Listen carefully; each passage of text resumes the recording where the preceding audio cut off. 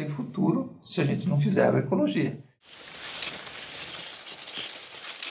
A valorização da agroecologia no Brasil ainda precisa ser bastante melhorada, né? porque hoje no Brasil existe uma série de, de impedimentos para o avanço da agroecologia que estão muito ligados especialmente à ignorância. Né? As pessoas ignoram o potencial da agroecologia como um sistema que produz produtos muito melhores, né?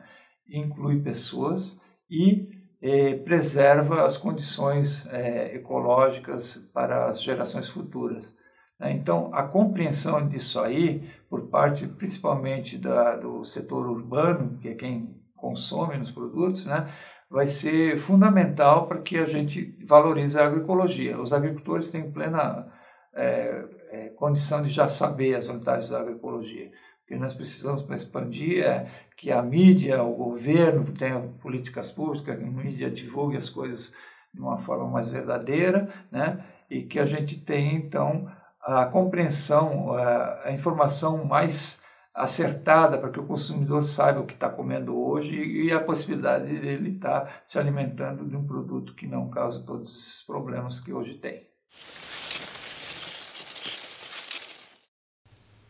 Questão política no Brasil que envolve a agricultura e, e, que envolve essa discussão entre sistema convencional e sistemas agroecológicos é fundamental, a discussão política sobre isso. Sem isso a gente não vai entender o que está por baixo de cada opção. Né?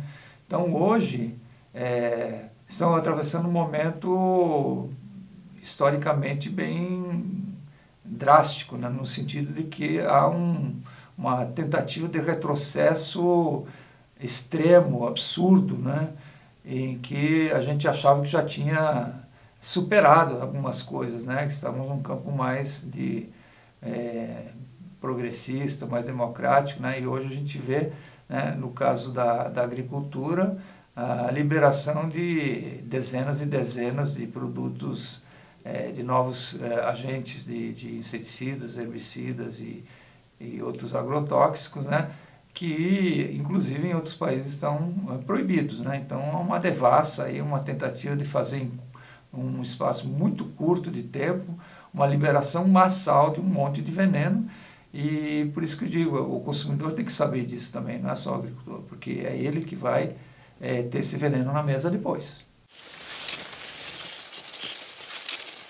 A mídia, né, ela tem sido sempre um poder à parte dos poderes oficiais, né, de, de, de grande importância, né, em todos os movimentos políticos a mídia está implicada, né, para o bem e para o mal, e a gente vê que a mídia, por uma série de questões, de, às vezes também de ignorância sobre o tema da agroecologia, sobre o potencial que tem os sistemas agroecológicos de produção para alimentar o mundo, né, e também por estar envolvida em interesses nem sempre muito confessáveis, né, ligados ao poder, ela tem é, privilegiado o agronegócio e toda essa onda de popularizar a ideia de agronegócio, né, porque, é, na verdade, o potencial do agronegócio para produzir é, números, né, é, produto interno bruto, essas coisas todas, é, é inegável o agronegócio tem sido uma das esteiras da economia é, exportadora do Brasil. Mas eh, quanto que ele representa em termos de autonomia do próprio país, de segurança alimentar, de inclusão das pessoas, né? Então, isso é uma coisa questionável. Então, Quando a gente fala em agroecologia e a gente pensa na ideia mais geral da agroecologia, a gente não pode pensar ela só como um aspecto técnico, como lidar com o solo, como lidar com as plantas, etc. E tal. Então a gente tem que ver que para que a agroecologia se torne realmente uma, uma opção dominante que possa é, é, oferecer produtos a, a, todos os consumidores, inclusive os mais pobres, ela precisa ter outros tipos de política associados à técnica. Né? Não é só a técnica agroecológica que vai salvar a nossa agricultura. Nós precisamos de outras é, políticas, né? especialmente políticas de, de acesso à terra. Hoje, uma pequena minoria, mínima mesmo, eh, tem acesso a quase toda a terra é, agricultável do país.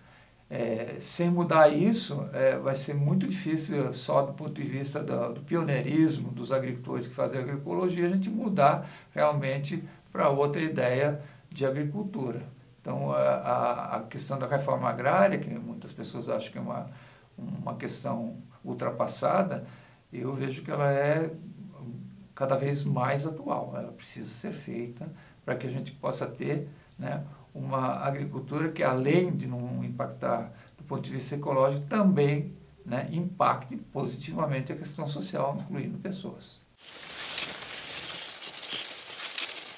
O agronegócio, além de produzir é, é, na maior parte das terras, ele produz coisas que pouco interessam na população. Né? Ele produz é, itens de, de commodities, que a gente chama, né?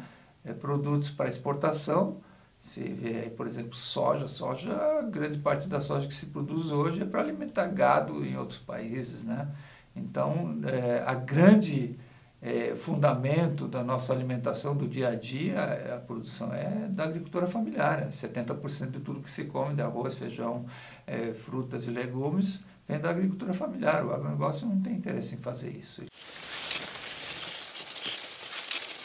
O agronegócio, ele produz sobre uma base técnica que é completamente danosa para o meio ambiente, né? Ela extrai é, jazidas, né? nas jazidas de, de, diversos elementos que tem na, nos fertilizantes químicos estão sendo esgotados, né?